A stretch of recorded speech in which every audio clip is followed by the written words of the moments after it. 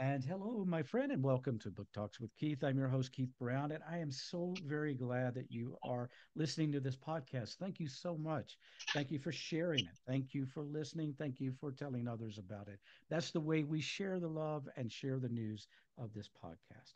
And today, as I have been doing each and every week, I am bringing to you another fantastic author for you to get to know and to get to know a little bit about uh, his work and his name is John Salmon. And and let me before I even let him speak, let me just ask him. Let me let me tell you, I asked him how to pronounce his last name because it's spelled like the fish, and he says up here we say salmon. Um, down where I am, it's salmon. But anyway, John Salmon, welcome to the program. Thank you. Yeah, it's good to be here. Uh, I appreciate you coming on. Thank you. And let's begin by just letting the uh, listener or viewer know a little bit about who you are. You know, just whatever you want them to know so that they can get to know who's behind the book. Uh, okay. Um, yeah, my name is John Salmon, and I live in Pittsburgh, Pennsylvania. Um, I grew up a minister's son, and we moved around a lot. So I lived, I was born actually in Savannah, Georgia. I lived there very briefly, only a couple years. And um, then I lived in Illinois and Wisconsin, Pennsylvania, and Texas and then I came back up to Pennsylvania, where I've lived since oh, around 1982. So I've been here a long time. Um, I'm married, and yeah, I'm I I am a psychologist. So I went to college here, and then I got into community mental health. Um, worked for a time while I was going through college as a part-time youth minister, and then I worked for community mental health, and now I have a private practice um, my wife and I, I've been married for about 30, a little over 30 years. And my wife and I have a private practice together. Oh, nice. Yeah. Yeah. Well, I guess that can be good. Uh, in some cases, it can, be bad. I'm married to a psychologist, so yeah, I, I you know, yeah, yeah. I, I, sometimes joke with her that I married her so she can fix me, but I don't know if that works. Yeah, we we supervise one another. I understand. Very good. Very good. So, how does a psychologist, and I mm. know that as a psychologist, you had to write books, uh, uh, write uh, all types of, you know, things for your graduate studies and your, you know, formal papers and your notes for your clients and all this kind of stuff. But um, how did you get interested in writing a book? What what inspired that? Yeah, you know, for as long as I can remember, I thought about writing books. I didn't really know what kinds of books. Even when I was young, um, I'd make up stories and write down little stories and things like that. I can remember one of my uh, friends in school would draw a picture when I was in middle school. He'd draw a picture and I'd write a story about it, you know. And so I've always liked to write. And when I went through school and we did all the writing, I sort of quit writing for a while because I, I, maybe I was tired of it, burned out or something. I can relate. Um, yeah. but it, it grew again. It began to grow again, and and I felt um, compelled to write. One of the the first book I wrote. The reason I did that is because as a therapist, as a psychologist working with people, I worked a lot with couples. And unfortunately, a lot of times by time a couple came into therapy, they'd been struggling for years and they um, were at wit's end. So I was hoping that by writing a book, maybe um, people could get the book. We could do workshops and things like that to try and help people before it got to the point that they needed therapy. Understand. And yeah. so that's when I came back into writing more formally. Um, prior to that, I would write little things for my kids or, you know, for my wife and things like that. Gotcha. So, what was the so was that first book that you were talking about, was it a published work or is it just something you wrote or did you actually get it published? Yeah, the first one I wrote, um, I did publish um, through Westbow. So it was sort of a, a self-publishing type help, you know? Okay. So what was the title yeah. of that book? Um, that, that book is titled Family by God's Design. Okay. And so, um, I obviously, as a son of a minister, um, you are, I assume, uh, still a man of faith, and you bring your yes. Christian faith into your writing. Is that the case? Yes. Yes. A lot of the things, most of the things I write are very much faith based. I got you. All right. So, in your, so what you did is you combined your faith with your work as a psychologist in this first book.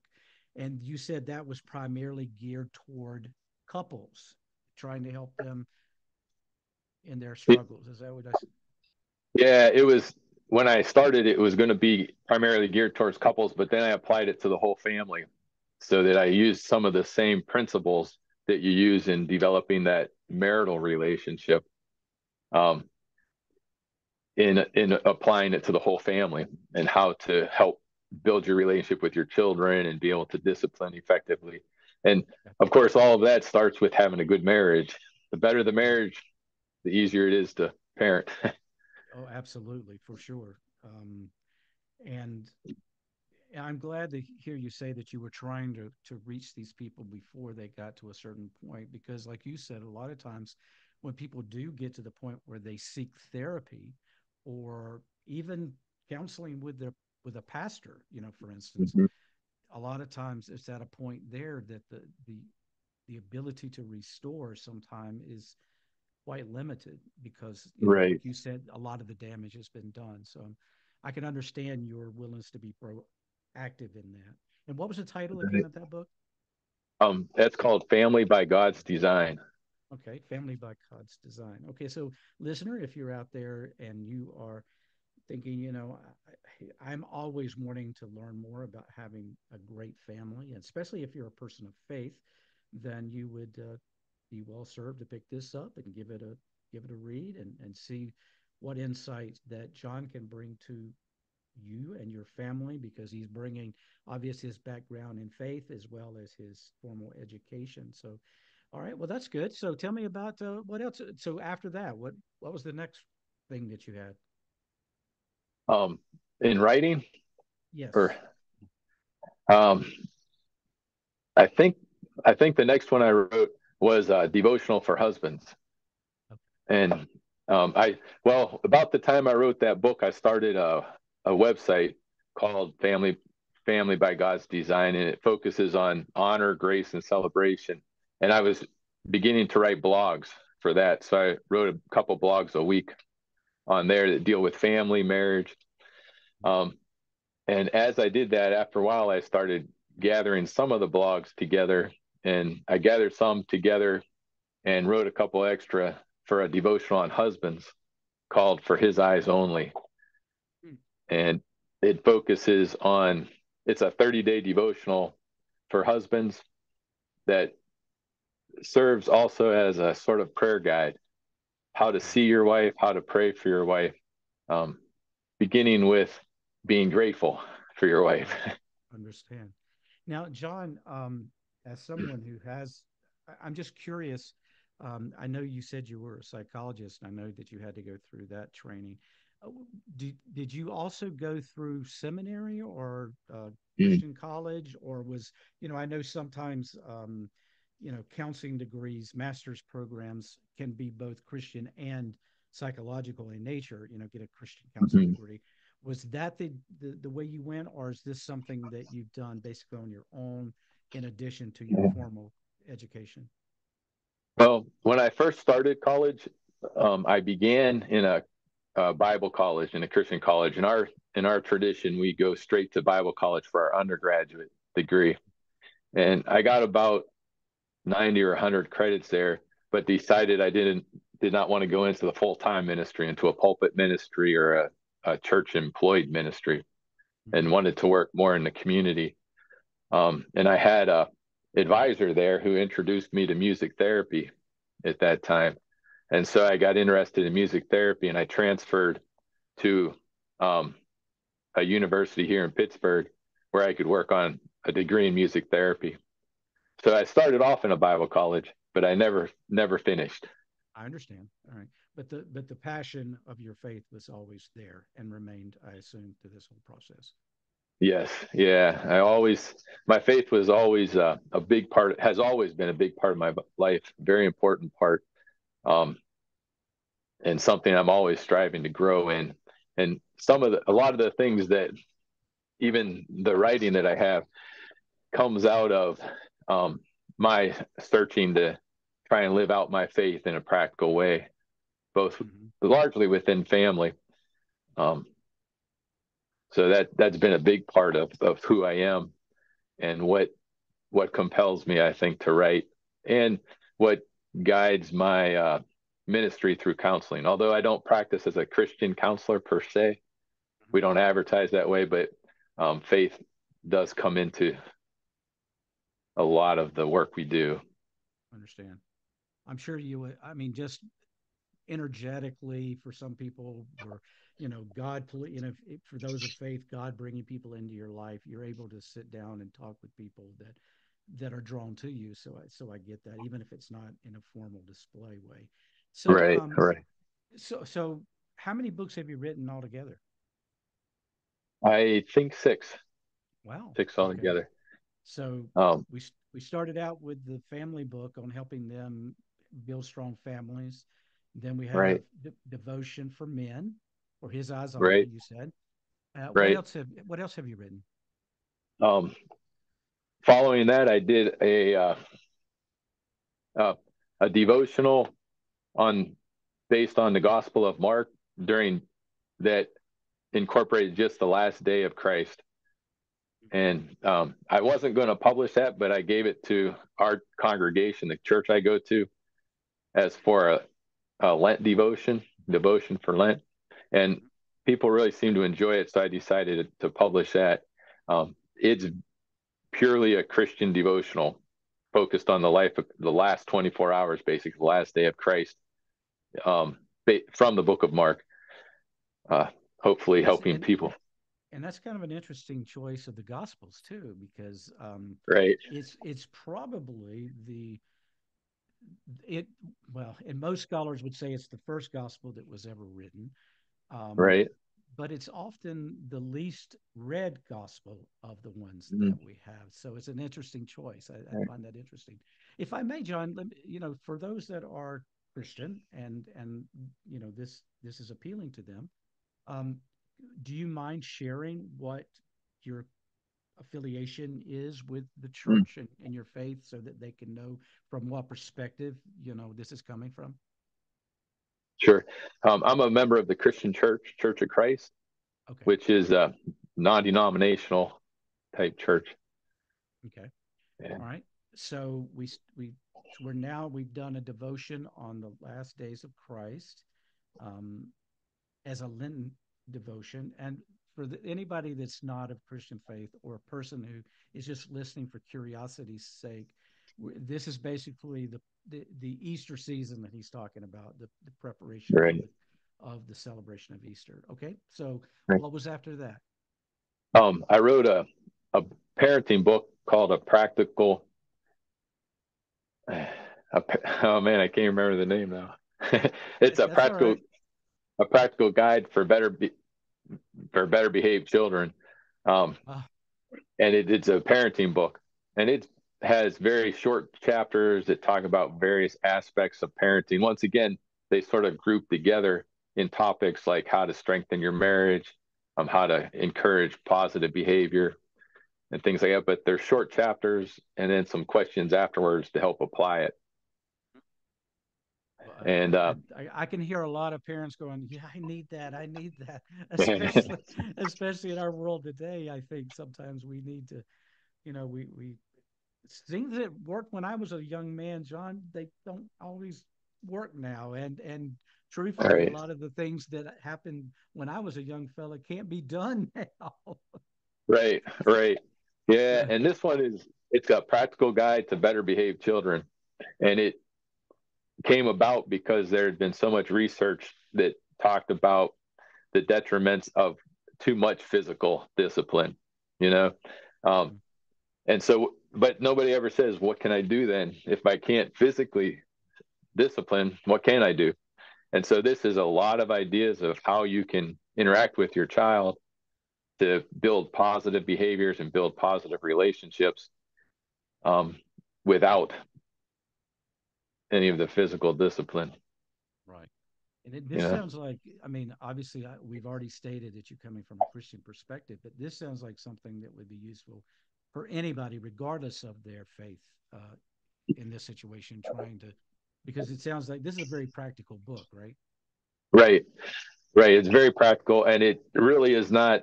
It's probably the least uh, faith-based book that I have. That uh, it's still faith-based, but it's not explicitly faith-based. Right, probably Lisa. And what I do find that people often say, and I I think it fits with who I am, is most of the books I have are pretty practical. They even the devotional for men ends with some practical ideas of what to do, you know, how to implement it. Um, the family by God's design is very practical, based on concrete things you can do on a daily basis that honors the family, that shows grace and celebrates. Well, I can certainly I can certainly believe that and understand it because you know in your line of work you have to be practical. I mean, if if you're not right. practically helping people in their lives, then you're a waste of time and a waste of money. Right. So they they come to you for practical help. So I can right. see how that would come across in your writing. So I get that. All right. So let's you said six. So I'm gonna go back and just for my benefit, yeah. you had family by design, you had a men's devotion for his eyes only, you had um a devotion on the Gospel of Mark. Right. You had a book on discipline for children, how to better right. discipline. All right. So that's four. four. All right. All right. So the um, next one would be. The next one is a 30 day devotion called The Sacred Pause, and it's based on patience. Oh. Um, and that one is that a four letter word, Susan? I'm sorry. Yeah. yeah. That's a hard. That's what it. You know, you read First Corinthians thirteen, right? Love is patient, love is kind, and I, I had trouble getting past love is patient. yeah, I know. Yeah, yeah, I know. It's a struggle, and uh, but that's that's the idea. Thirty days of thinking about patience and reflecting on patience, and some practical ideas of building patience, and how it can enhance your marriage. You know, better your marriage and your family through the growth of patience and the practice of patience. And it does take practice.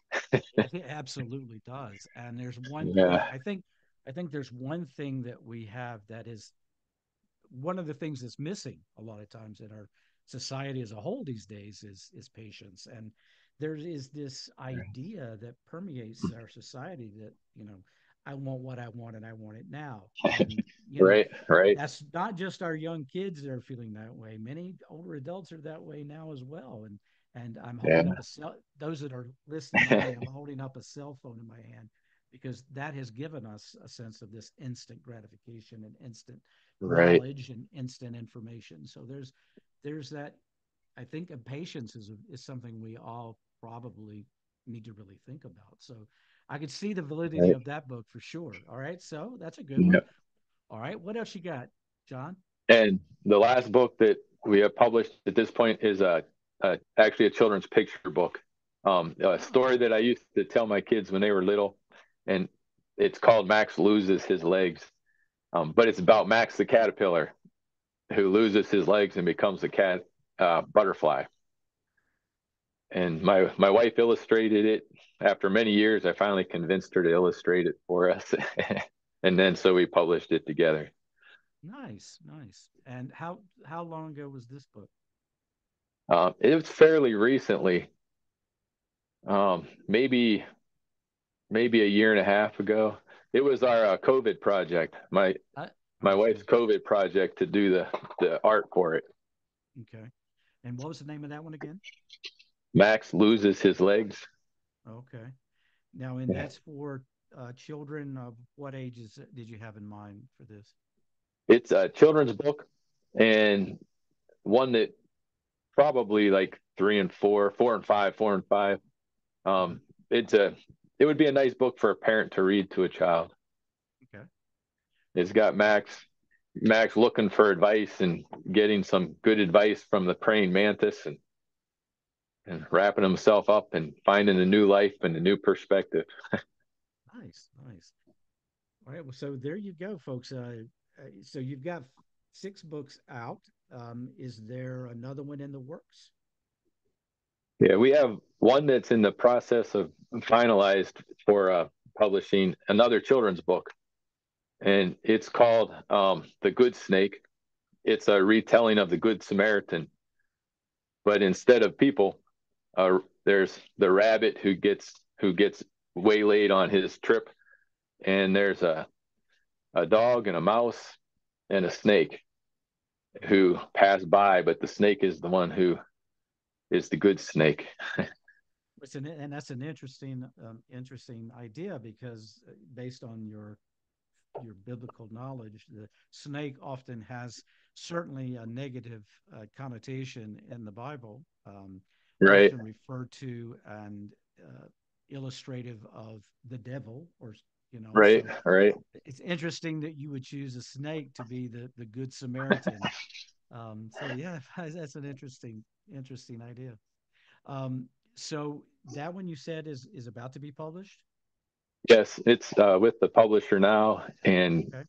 uh, i should be getting a sample copy soon to nice. get the final edits in and then we'll be able to finish that up what's the dream for next for you and the next one I'm finishing up right now is uh, a 30 day devotional on kindness. Right? Love is patient, love is kind. Ah. And uh, kind is the next one. Okay. And uh, yeah, and hopefully, you know, over time, over the next many, many years, I guess I'd like to do take each of the characteristics in First Corinthians 13 and do a 30 day devotional and uh, I, I, could see how that would make a good good um, series. Good. Yeah. Nice. Devotions. Yeah. Very good. Very good. Right. So, um, is if if you had to really just say, I, I, you know, the book I'd really like for you guys to, I, I see the children's book, and I know that there are parents out there who could probably enjoy reading something, especially if you're a, you're a parent and you're a person of faith you know john's already told you that that his writing is based on his own personal faith. And so if you are a christian family and you are looking for something for your young child then this would be certainly an option. So we'll make sure that link is in the show notes john so they can okay that. thank you. And um, is there of all the other books is there one that you really just would say you know what it, it, for you adults that are looking for something for you this is the one of my books I'd really want you to start with. Do you have an opinion on that? Mm. Or they, I know they're all good. I we, we yeah. all our books are good, but is there one you would encourage them to start with? I think uh, Family by God's Design is the biggest book.